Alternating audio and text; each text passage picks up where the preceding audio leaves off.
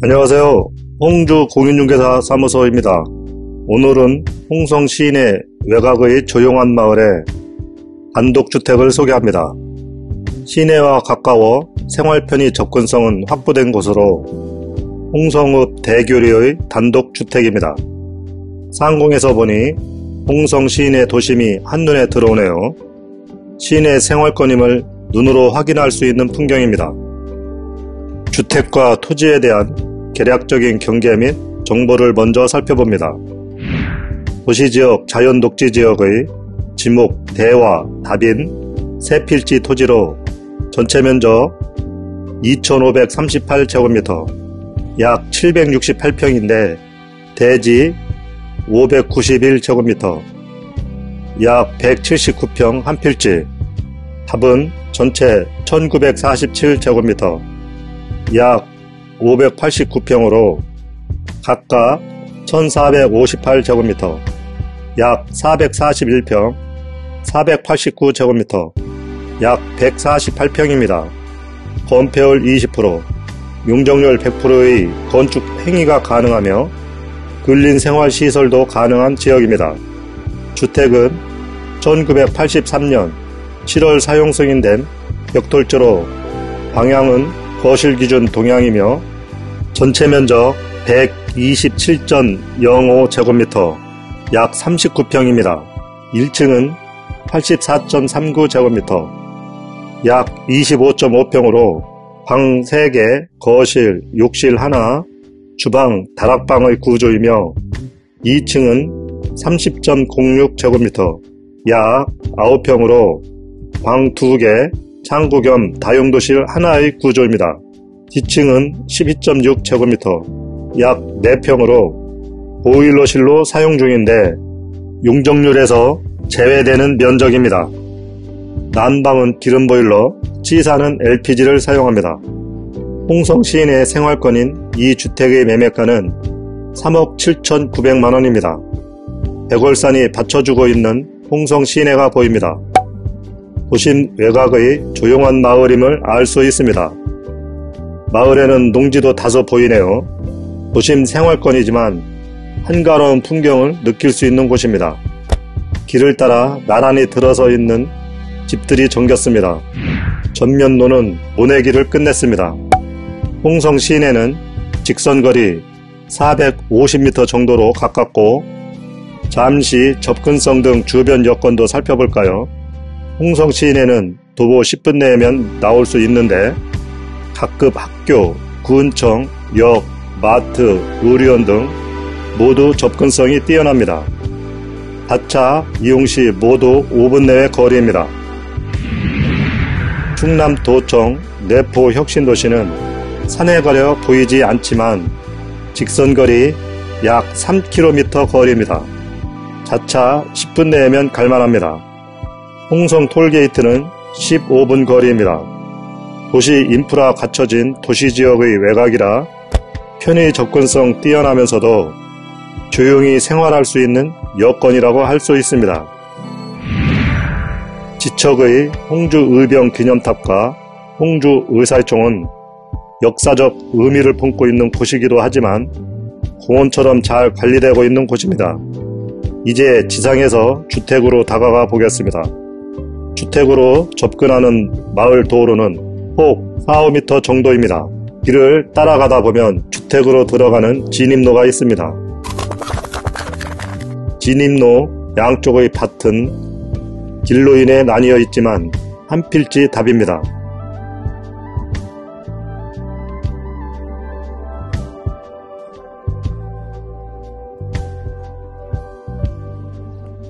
마당은 하단 일부만 제외하고 모두 시멘트 포장이 되어 있습니다.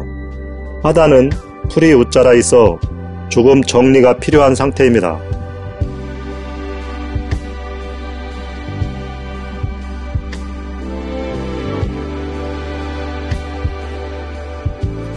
하단 옆의 별채 옥상을 오르면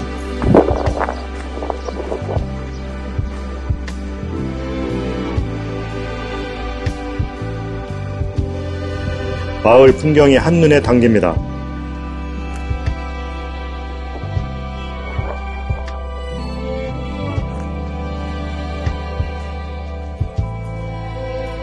별채의 골격은 상태가 나쁘지 않지만 손길이 필요합니다. 건축물 대장 없이 과세 대장만 있다고 하네요. 예전에 임대를 주었던 것 같습니다. 두 개의 방과 보일러실, 주방, 다락, 욕실 공간이 모두 있습니다. 필요에 따라 철거를 해도 좋고 살려서 써도 좋을 공간입니다.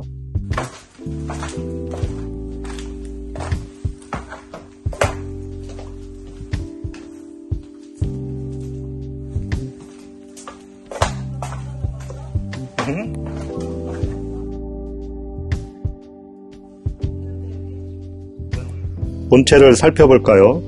본체와의 사이에도 풀이 많이 자라 있습니다. 뒤편에 작은 창고가 있습니다.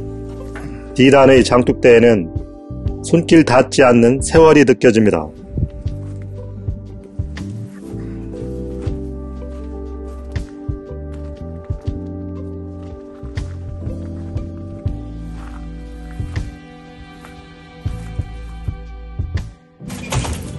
측면의 문을 열면 옆 담장과 집 벽면 사이 지붕을 놓고 공간을 만들었습니다. 여러모로 쓰임새 있는 공간이었을 테죠. D란으로 나가는 문도 있네요. 계단을 오르면 옥상이 나타납니다.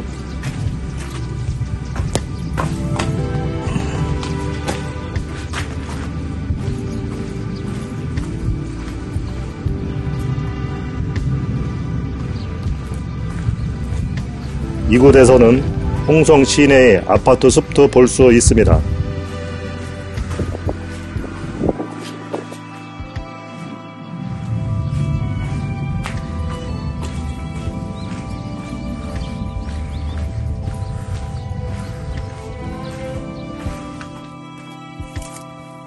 계단을 내려와 다시 내부로 들어가면 지하로 내려가는 계단이 있습니다. 이 문은 내부의 주방과 연결되는 문입니다. 계단을 내려가면 제법 넓은 공간이 있는데요. 이곳이 보일러실입니다. 제법 넓어 꽤 쓸모있는 공간이 될 것입니다.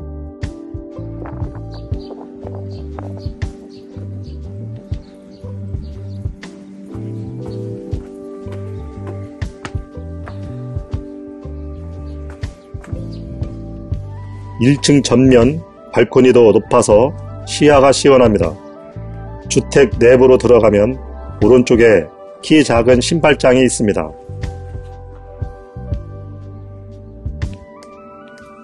왼편으로 들어가면 바로 거실이 나오는데요. 거실이 제법 넓습니다. 내부는 전체 목재로 마감되어 있습니다. 당시에 아주 잘 지은 집입니다. 거실을 중심으로 방과 주방이 자리 잡고 있는데요. 거실 바로 옆 안방입니다. 공간이 제법 넓습니다. 천장 마감이 특색 있고 예쁘네요. 창은 마당을 향해 있습니다.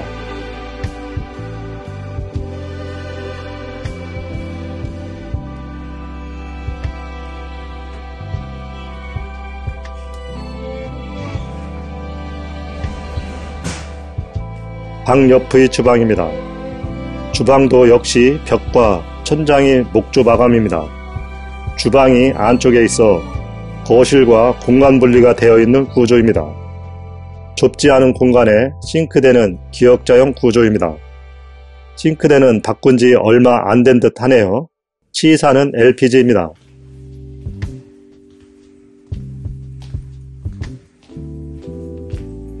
주방 맞은편 현관 바로 옆의 방입니다. 조금 작은 방인데요. 창은 전면과 측면 모두에 냈습니다. 이곳에는 다락도 있습니다.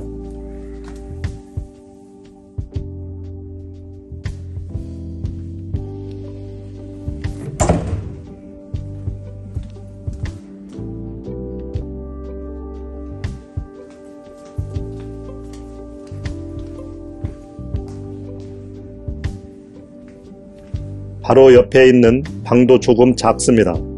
창은 없네요. 욕실은 세탁기까지 놓을 정도로 좁지 않습니다. 2층으로 오르는 계단이 욕실 벽체를 이루고 있습니다. 주방과 욕실 사이의 2층으로 오르는 계단입니다.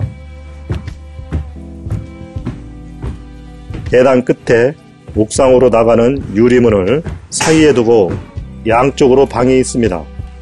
오른쪽 방은 전면과 측면에 창을 냈습니다. 두 곳의 수납 공간이 있는데요.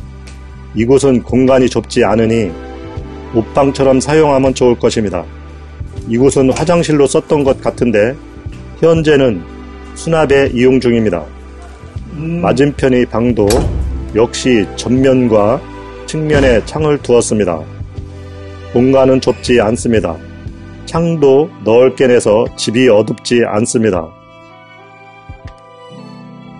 2층 옥상은 계단에서 올라가서 보여주었던 공간입니다. 전체적으로 공간이 좁지 않게 배치되어 있고 창이 커서 시원한 느낌의 집입니다. 벽과 천장의 나무는 그야말로 레트로 감성을 불러일으킵니다. 이 집주인이 원래 대가족이었다고 하네요. 그래서 방도 많고 널찍한 것 같습니다. 전체적으로 숨어 있는 공간도 많아 수납에 용이하고 시가지에서 벗어나 조용하게 살 수 있는 곳입니다. 조용한 생활을 꿈꾸지만 도시의 편의시설 이용에도 어려움 없는 곳을 찾는 분이 눈여겨보시면 좋을 것입니다. 그 시절의 집이 가지고 있는 멋스러움을 잘 살려 새로운 공간을 만들어내고픈 분에게 권합니다. 고맙습니다.